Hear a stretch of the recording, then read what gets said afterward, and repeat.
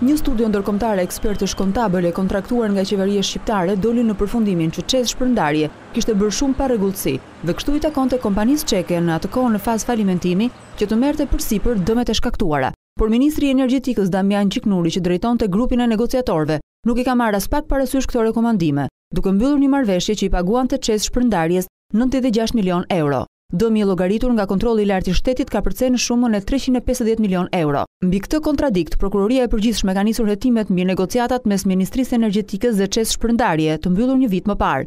Denoncimi nisi nga KLSH që në raportin e saj paraqet një sërë parregullsish të supozuara të kryera nga ministri Gjiknuri në hetim për shpërdorim detyre. Por pjesa më interesante e hetimit, duket se është përqendruar tani mbi raportin e paraqitur nga studioja ndërkombëtare. Këshilli i Ministrave ka kontraktuar kompaninë kontabiliste dhe menaxhimi financiar të huaja si BDO LLP, në mënyrë që kjo e fundit të dilte me raporte konkrete, raporte këto që do ishin baza kryesore për mbrojtjen e çështjes gjyqësore në arbitrazh mes ÇEZ as dhe shtetit shqiptar.